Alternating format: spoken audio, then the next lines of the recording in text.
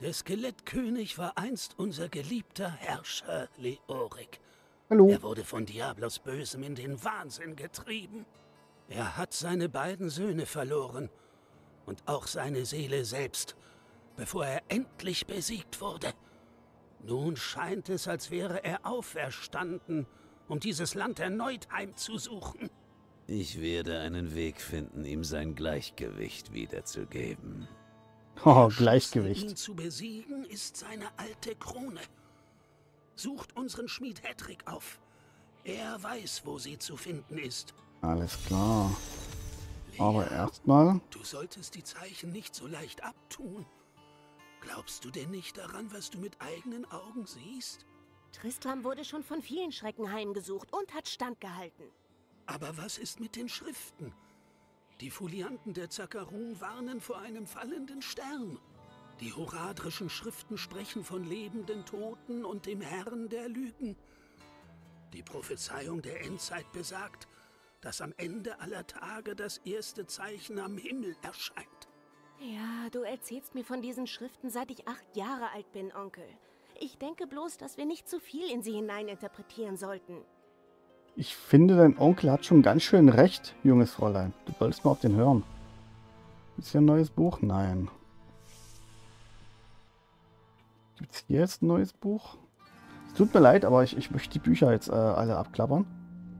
Ich weiß nicht genau, wann die spawnen. Ja, nein.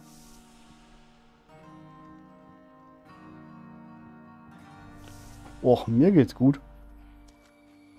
Entspanntes Zocken. Bei dir? Alles okay? Ja, sag mal, du alter Sack, wer bist denn du überhaupt? Wer seid ich ihr? bin der Letzte der Horadrim.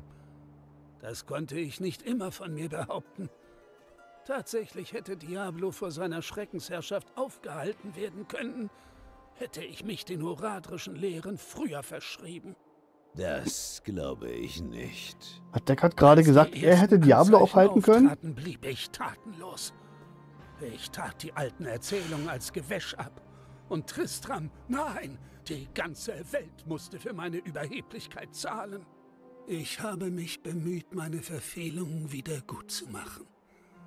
Lea und ich haben ihr gesamtes Leben lang die Welt durchstreift, um Teile der Prophezeiung der Endzeit zu sammeln. Wenn ich sie entziffern kann, werden wir den Schlüssel zur Zerstörung der Herrscher der Hölle in Händen halten. Also ich glaube nicht, dass Deckard, der alte Sack, Diablo hätte aufhalten können. Lea und ihr, ihr braucht einander. Ich weiß nicht, wie mein Leben ausgesehen hätte, hätte ich sie nicht großgezogen. Oh, es muss für Lea schwer gewesen sein, einem alten Mann zu folgen, auf seiner wahnwitzigen Suche nach den Geheimnissen, die Herrscher der brennenden Höllen zu vernichten. Doch obwohl sie so manches gesehen hat, glaubt sie noch immer nicht ganz an meine Aufgabe. Es ist verständlich.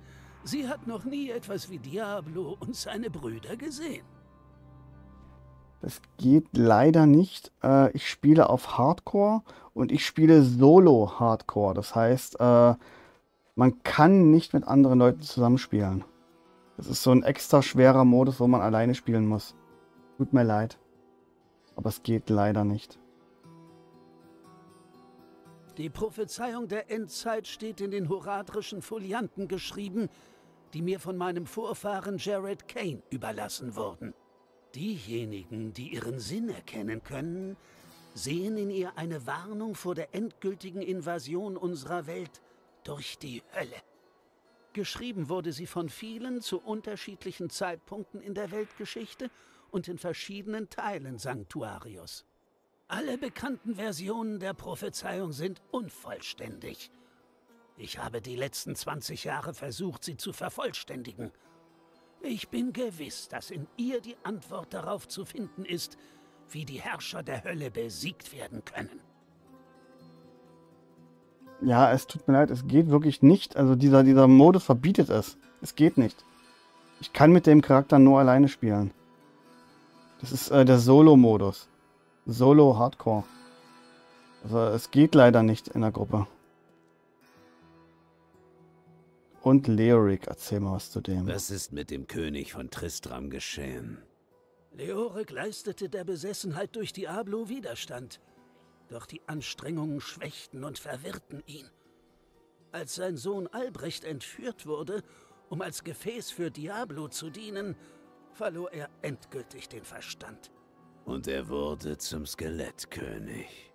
Er befehligte eine Armee der Toten tief im Inneren der Kathedrale und diente nun dem Herrn des Schreckens, dem er sich lebendig noch widersetzt hatte. Viele Abenteurer hatten versucht, den Skelettkönig zu besiegen und dabei versagt. Es war Aiden, Leoriks ältester Sohn, der das Monster tötete, zu das dem stimmt sein nicht. Vater geworden war. Das ist geredconnt. In Diablo 1 war das nicht so und ich, ich äh, glaube nicht an Redcons, also stimmt das nicht. Diablo 3 hat Unrecht.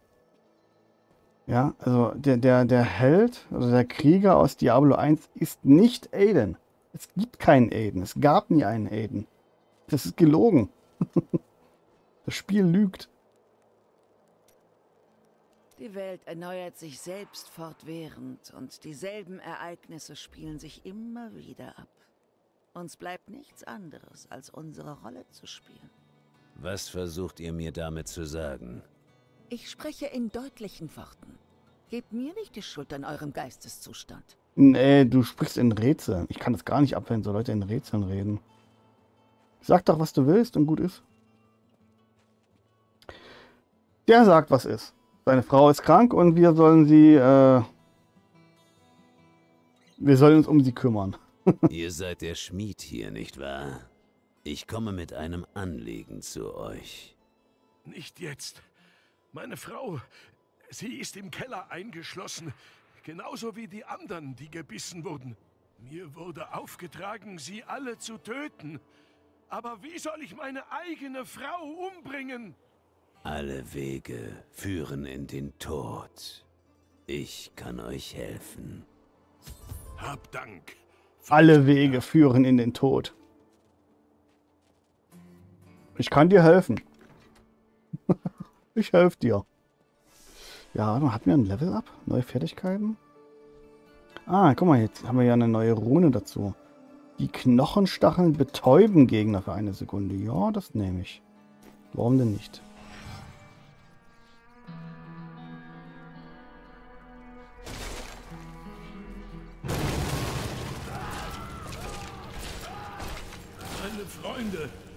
Es tut mir leid. Entschuldigt euch nicht. Ihr bringt ihnen Frieden.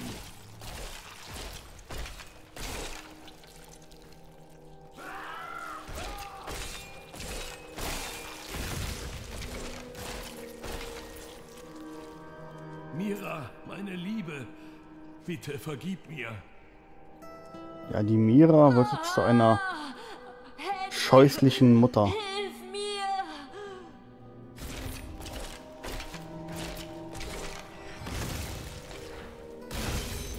Bumm. Tut mir leid, ich konnte deiner Frau leider nicht mehr helfen. Ohne euch hätte ich es nicht geschafft. Ich stehe in eurer Schuld. Mein Name ist Hedrick Imon. Es gibt einen Weg, eure Schuld zu begleichen. Ich suche nach König Leorex Krone. Da kann ich euch weiterhelfen. Sie wurde mit in das Grab seines Kanzlers gelegt, meines Großvaters. Ihr werdet sein Grab auf einem Friedhof im Hain des Wehklagens finden. Dein Groß... wenn ihr meinen Narren von einem Lehrling da draußen seht, dann sagt ihm, dass er zurück in die Stadt kommen soll. Dein Großvater war Kanzler. Und du bist Schmied. naja. Es gibt keine kleinen Jobs. Jeder Job ist wichtig und man sollte genau das machen, was einem am meisten Spaß macht.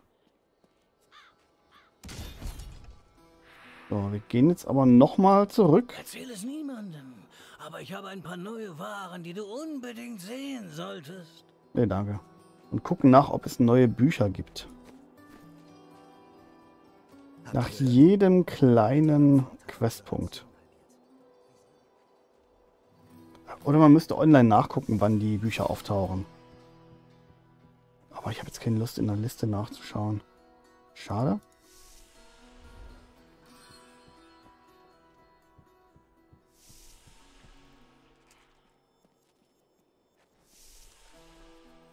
Schade.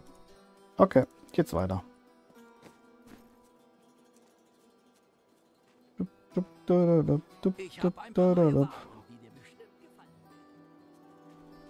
Ja, wie gesagt, tut mir leid, aber zusammenspielen geht einfach nicht. Wie gesagt, das ist der Modus Solo Hardcore. Ich sag's ja schon Solo. Kann leider nicht mit anderen spielen.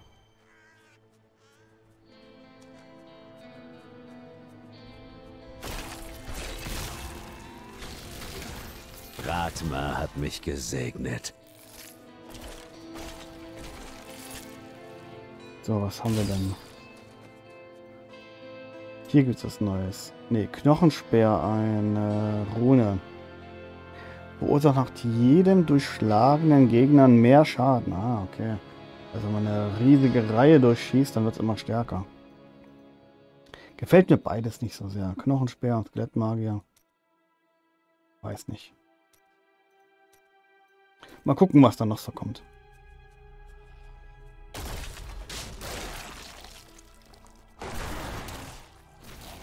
Skelettmagier hat schon was, aber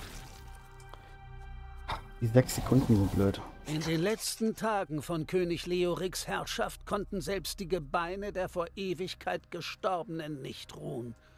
Sie nahmen ihre verfallenen Rüstungen und Waffen wieder auf und sind nun bereit, alles niederzumähen, das atmet. Sie mögen vermodert und gebrechlich sein, doch ihre verdrehte Intelligenz macht aus ihnen beachtliche Gegner.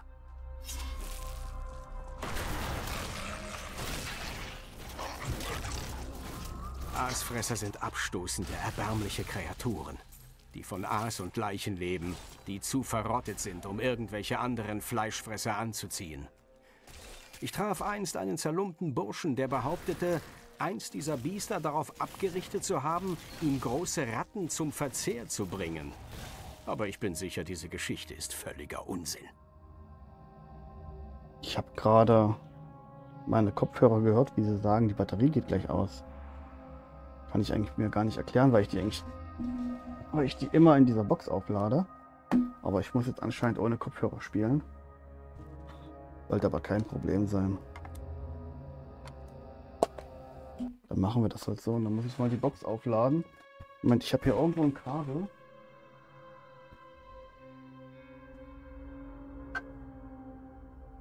Keine Ahnung, wie das leer sein kann, weil eigentlich lädt sich jetzt immer auf. Aber gut. Hab's angeschlossen und dann spielen wir jetzt mal mit Lautsprechern. Bisschen ungewöhnlich für mich, aber kriegen wir hin. Oh, ich habe einen Schatzgoblin gehört. Habt ihr es gehört? In der Nähe ist irgendwo ein Schatzgoblin.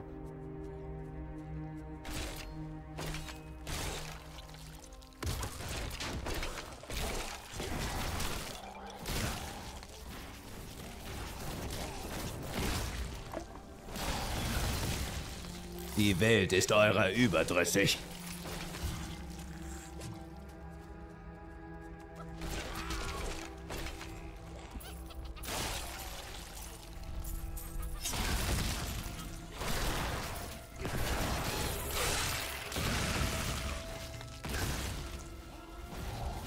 Hört ihr das Spiel jetzt doppelt durch das Mikro?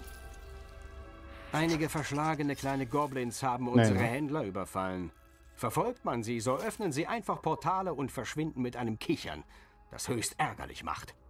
Das Landvolk glaubt, dass diese Goblins einem höheren Dämon dienen, der unter dem Namen Gier bekannt ist, und dass ihre Portale in sein Reich führen. Hm, eine wahrhaft lächerliche Vorstellung. Aber das stimmt sogar, was er gerade erzählt hat.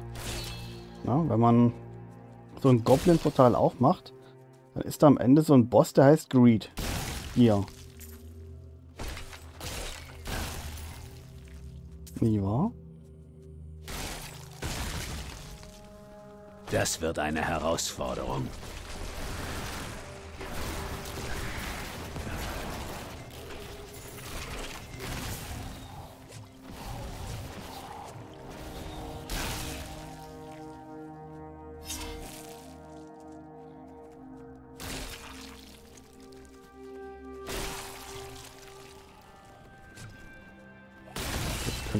Entweder direkt dort reinlaufen oder wir gucken uns noch ein bisschen um auf der Map. Ich würde sagen, wir gucken uns noch ein bisschen um. Bisschen leveln dabei, Items finden und vielleicht noch ein paar schöne Texte zum Vorlesen.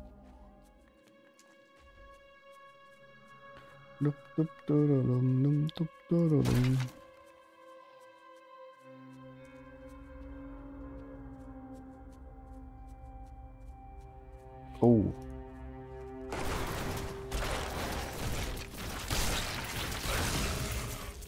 Gut, dass man die stunnen kann.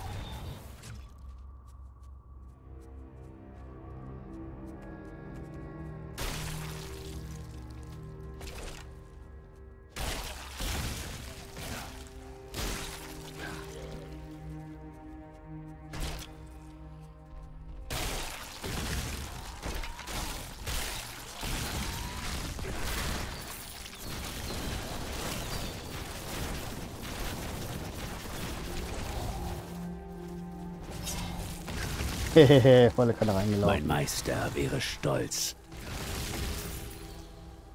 Voll erwischt.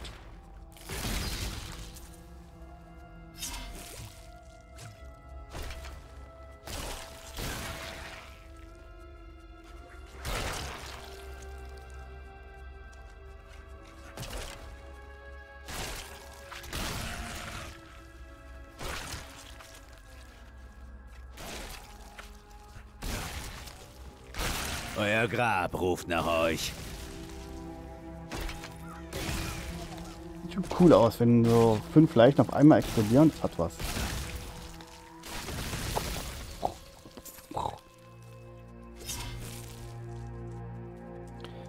This is Halloween, this is Halloween. Oh, ich hab das jetzt volle Kanne im Kopf. Ich krieg's nicht mehr raus.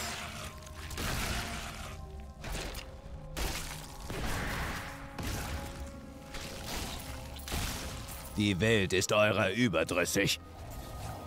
Die Welt ist eurer überdrüssig. Ich hätte gern permanente Summons. Gibt die auch bei Diablo 3? Oder muss ich immer wieder frisch beschwören?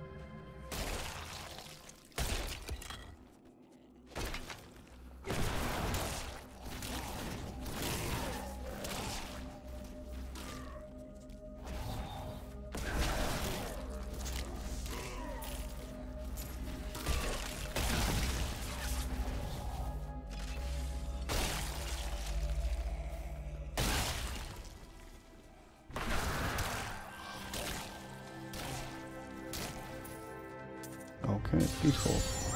Hier ist immer das Problem, man weiß nicht, welches Grab es ist, ne? Also da muss man rumprobieren. Im schlimmsten Fall durch alle drei Gräber durchlaufen.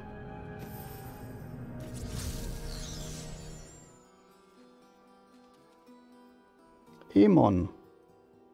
Ich würde gerne mehr über euren Großvater, den Kanzler, erfahren. Da gibt es nicht viel zu erzählen. Ich lebte zu der Zeit mit meinem Vater in Caldeum. Wir haben gehört, dass mein Großvater bis zum Ende in Tristram blieb und versuchte, Leben zu retten. Keine Ahnung, ob es ihm gelang, aber so ist es eben. Als der Skelettkönig Bis zum Ende? lag mein Großvater durch eine Schwertwunde tödlich verletzt im Sterben. Da Er war hat die kein Krone Emon. mit in sein versiegeltes Grab genommen, um In sie Diablo sicher 1. zu verwahren. Dann hatte er also seine Wahl getroffen. In Diablo 1 war da keiner. Ähm, können wir jetzt die Sachen hier zerlegen? Ne, machst du noch nicht? Ich würde gerne Sachen zerlegen. Da können wir sie erstmal aufbewahren. Klingt jetzt echt übertrieben. Aber weil das Hardcore Solo ist, möchte ich jetzt wirklich alles aufheben und dann zerlegen, sobald ich den als Schmied freigeschaltet habe. Die Ressourcen und dann Sachen zu craften und sowas. Wird wichtig, denke ich. Ähm, wir schauen noch mal kurz wegen den Büchern. Nein, hier ist nichts. Und dann müsste ich mal eine ganz, ganz kleine Pause einlegen. Bei mir ist gerade das Abendbrot fertig geworden. Das heißt, ich würde fix was schnabulieren gehen. Und dann geht es hier direkt weiter. Wird nicht lange dauern. Fünf Minütchen oder so. Ihr kennt mich ja, ich esse schnell. Gut. Also, bis gleich, Leute. Lauft mir nicht weg. Oder kommt gleich wieder in fünf Minuten. Gleich.